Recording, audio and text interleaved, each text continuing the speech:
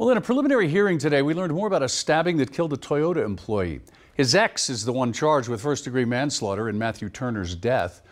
LEX 18's Lee Searcy uncovered some of the troubled past between the two, and she has more about that from Scott County. Relatives say Matthew Turner traveled the world working for Toyota. He programmed robots. He was currently working at the Georgetown plant. But July 30th, his promising future ended here at the Mill Apartments. Police say his ex, Cassandra Carson, stabbed him in the neck during some sort of argument. That's her story.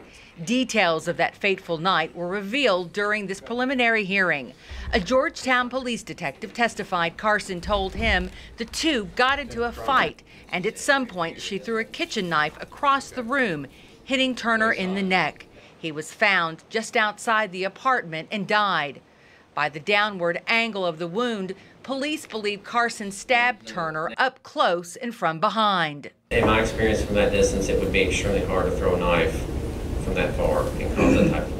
Watch Carson's hands as the prosecutor asks the detective to reiterate information about the knife. He threw it that far and it went into the neck, and that's what caused the wound. Carson wasn't supposed to be near Turner. He had a protective order against her from Indiana. A year ago in June, she was charged with domestic battery. Then last December, put on probation, but just this past May, records show she had violated her probation. Friends of Carson told me off camera Turner was the aggressor in the relationship, a claim his family denies. The case is now headed to a grand jury. In Scott County, Lee Searcy, LEX 18 News.